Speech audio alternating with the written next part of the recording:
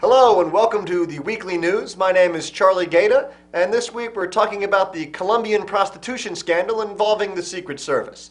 If you didn't read, a big scandal broke recently about Secret Service agents paying prostitutes in Colombia for sexual acts. Allegedly, one of the prostitutes complained that she was not paid enough. So, here to tell her story is Colombian hooker Dania Suarez. Hola, Charlie. Thank you for having me.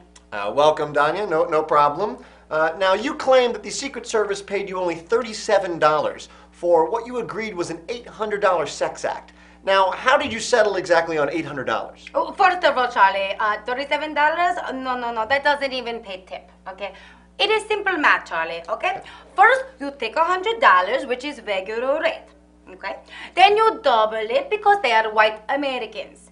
And then you have to double it again because they work for government. Then you add $100 because I so damn sexy, no, no.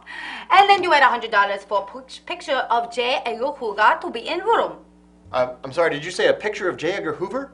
Yeah, I, all the government boys ask for that. I don't know why. So I have to charge extra because that guy really creeps me out. Oh, I forgot $50 extra for refreshments. Um, refreshments, exactly what is that? La cocaína, stupe. Oh, right, uh, of course.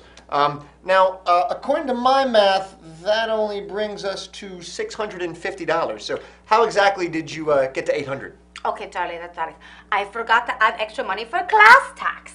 Um, a, a class tax? What is that exactly? Uh, hello, papi. It's because I so freaking classy. Look at me, classy. You could take me out. You could take me out to eat burritos, or you can go to with me to El Bar, and nobody can tell I heard. No, no. See, I such a lady, Charlie. Just look at me.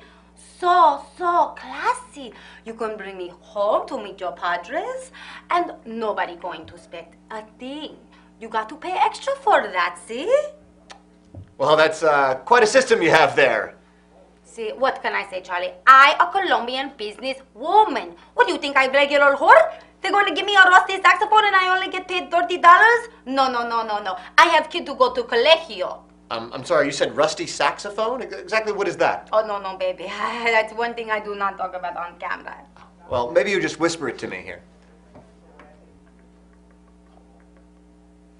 Oh, my God. Oh, God, that's filthy. Oh, I think I'm gonna be sick. Oh no no no, Charlie! Do not do not puke puke puke for me puke for me. I have date later with somebody who wants a chunky kazoo, and I'm going to need that. oh. Oh. Oh, mm, thank you, Charlie. Mwah. Thank you. I could use this later. Ladies and gentlemen, Colombian hooker Dania Suarez. Adios. Thank you for listening to my side.